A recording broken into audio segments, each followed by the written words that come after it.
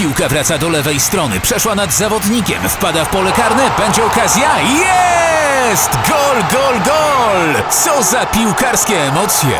Już wkrótce niezwykła okazja, aby przeżyć na żywo piłkarskie emocje w Starogardzie Gdańskim podczas finału Młodzieżowych Mistrzostw Polski w futsalu U16. Do miasta Kazimierza Dejny zawita 16 drużyn z całej Polski.